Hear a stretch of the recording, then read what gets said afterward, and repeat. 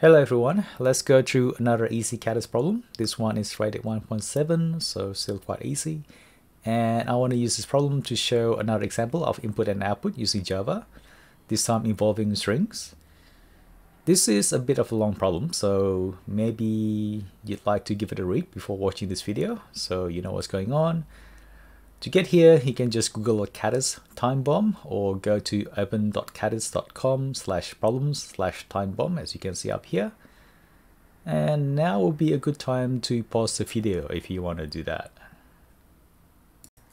Okay, hopefully now you have a bit of an idea about the problem. Again, it's a bit of a long read, but that's part of the game. And as I mentioned before, you often see a lot of fluff in the uh, problem description.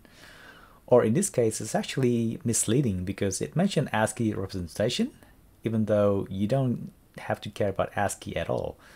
All we care about is that we're given a code, which is just a number, and this line here tells us that we need to check if the number is divisible by 6. If it is, then the bomb is diffused. If it's not, then the bomb will explode. That's it.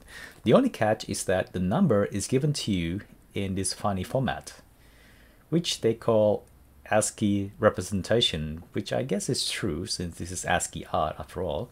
So what you have to do is you have to read this ASCII representation. Um, let's look at the examples and work out what the number is.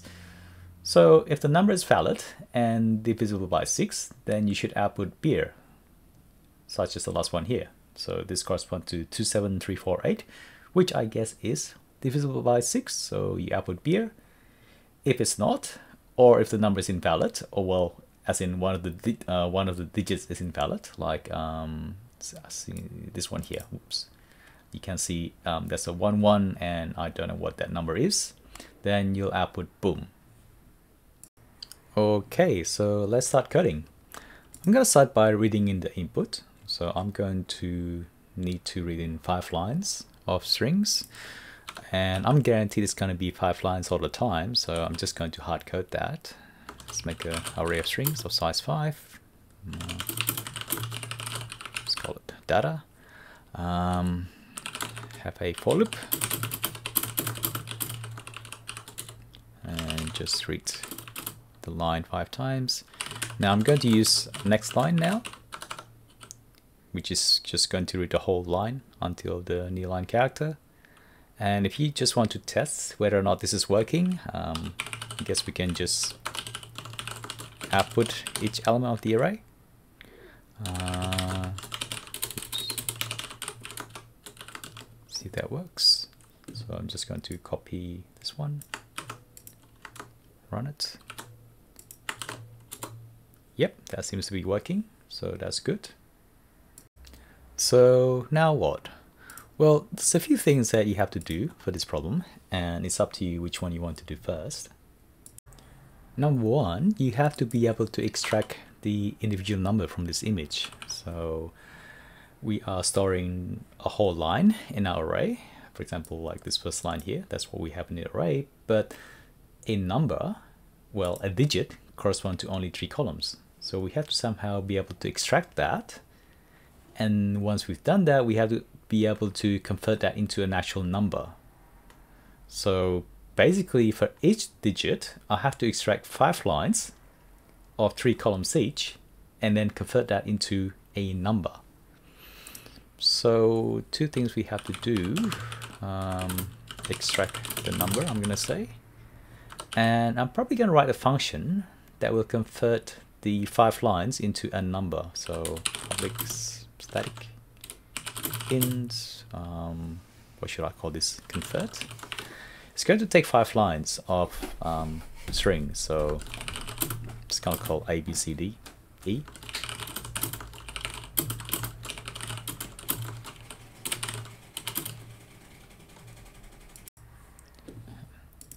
Actually, there is one more thing that I have to do.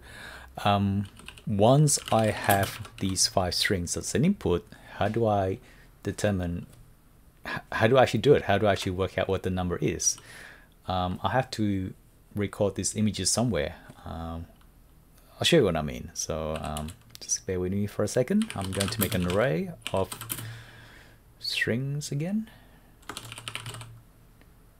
Um, this time it's going to be a double array. Um, let's call it image. Now, what I'm going to store here is I'm going to store the representation of the number in terms of the stars. There are 10 numbers from 0 up to 9, so I'm going to have a double array. I'm going to have um, 10 entries in this array. And each entry will be of size 5 because each number has 5 lines. Um, again, I'll, I'll, show you what I mean. Um, to have 0, I'm going to have star, star, star. What does 0 look like? Star, space, star. Um, and again, and again. And the final line is star, star, star. Okay, so that's the first entry, um, which means if you go to image 0, you're going to get an array of five strings, and that five strings is what makes the image 0. Hopefully that makes sense. And we'll just do this again for the rest of the numbers. Um, so 1 will look like um, that. Oops. And 2 will look like this. What does 2 look like? Uh, 3, 1, and it's going to be a full 1. Oops. And a full 1 as well. Okay, so I'm gonna pause the recording and just do that quickly. So you don't have to watch me do it. Okay, all done now. I got all 10 numbers in there. And once you have this array, you can convert these five strings into a number, right? So what do you have to do? Uh, simple. Um, we're just gonna go through the elements one by one uh, because they're all unique.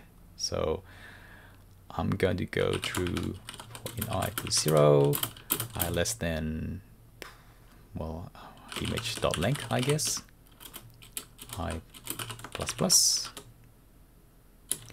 Um, and we say if a is equals to image i 0. Well, this one's going to be hard-coded.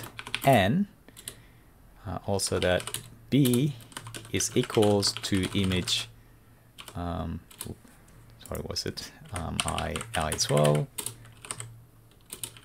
1.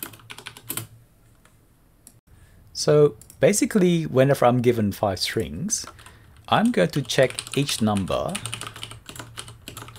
um, one by one um, and I'm going to see if the five strings that I'm given, A, B, C, D, E, correspond to the representation of that number. Okay, so I'm going to try i equal to 0, i equal to 1, i equal to 2, and so on until I get one which is correct. If at any time I found um, one which is correct, I just return i because that's the number. Uh, okay, let's see what's the problem here. Oops, I'm missing a bracket.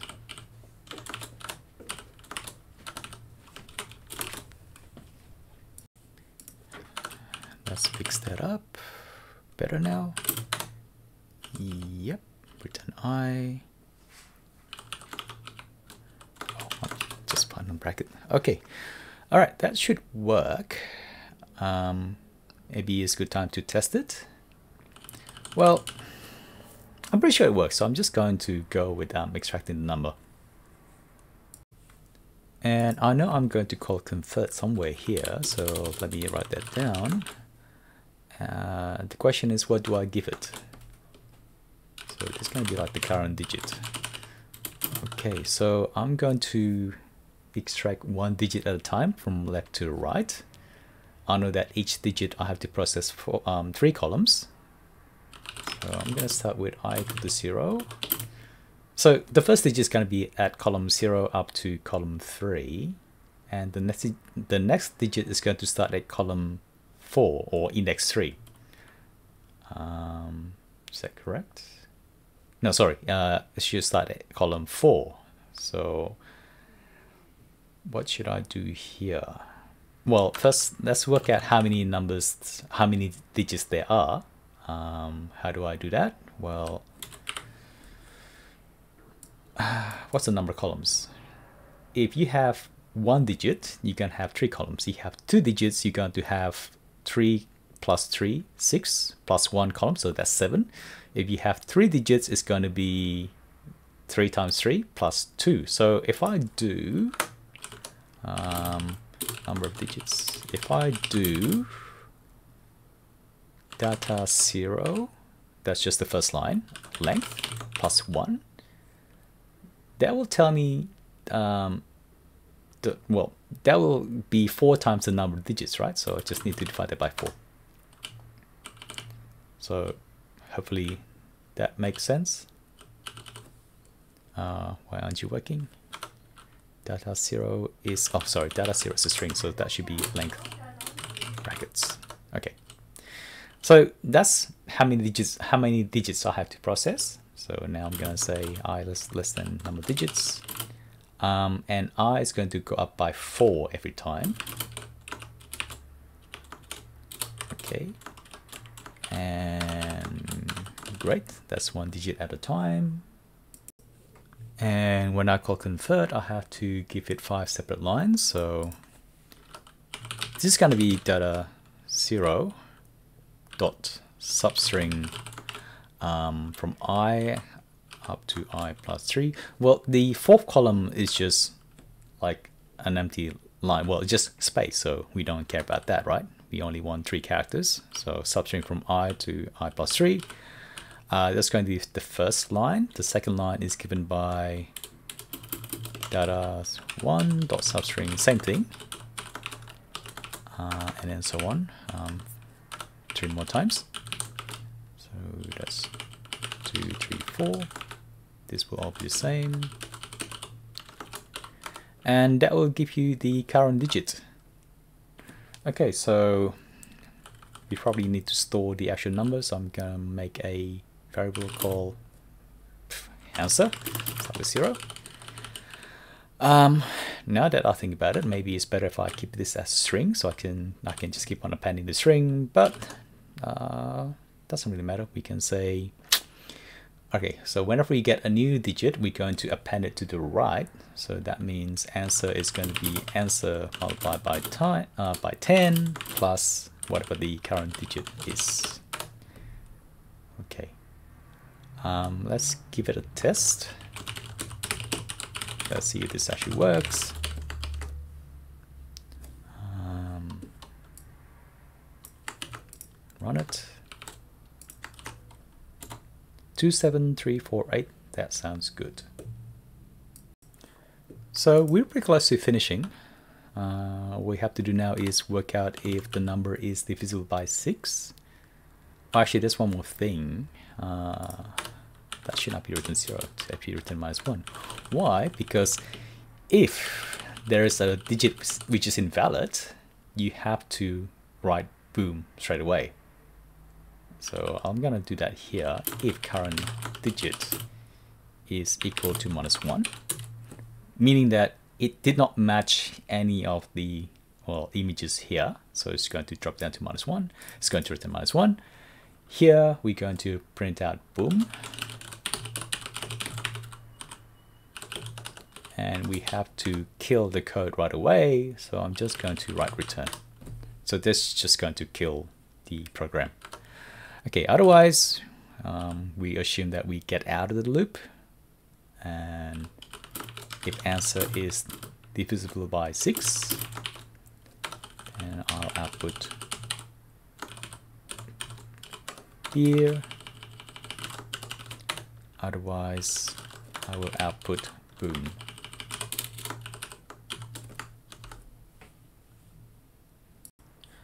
Now let's try it a few times.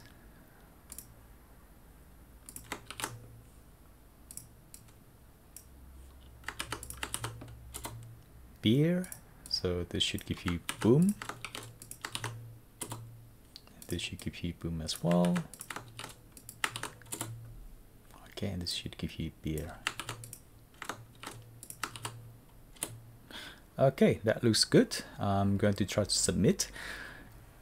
I probably would make my own test cases in harder problems, but since this is still a relatively easy problem, I'm just going to submit this and see what happens. Uh, where's the submit button? Okay. Let's go for Java. Uh, again, make sure you don't copy the package line because that will give you problems. Uh,